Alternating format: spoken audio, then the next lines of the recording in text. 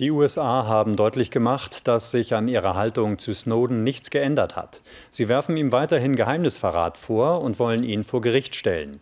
Die Regierung in Washington bekräftigte, dass sie auf eine Auslieferung bestehen werde, sollte Snowden nach Deutschland kommen.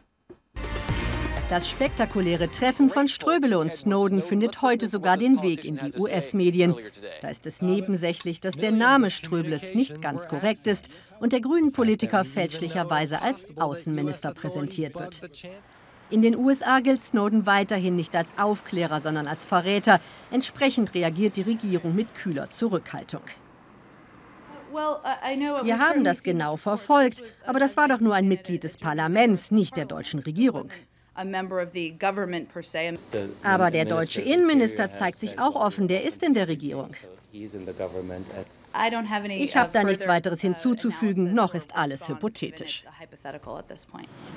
Aus dem Weißen Haus heißt es, Snowden gehöre schnellstmöglich vor ein US-Gericht. Doch angesichts der ausufernden NSA-Bespitzelung gibt es erstmals auch offen selbstkritische Töne. Genauso wie der Präsident gebe ich zu, dass einige der Aktionen zu weit gingen. Wir werden zusehen, dass sich dies in Zukunft nicht mehr wiederholt. Auch in Washington beginnt langsam eine Debatte über die NSA.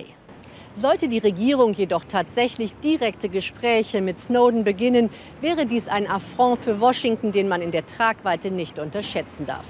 Doch auch Obama weiß, es werden weitere Enthüllungen folgen. Die einzige Chance, nicht jedes Mal auf den Eklat zu warten, wäre selber beim Thema Aufklärung in die Offensive zu gehen Vielleicht könnte ja bald eine Delegation aus Washington nach Berlin reisen.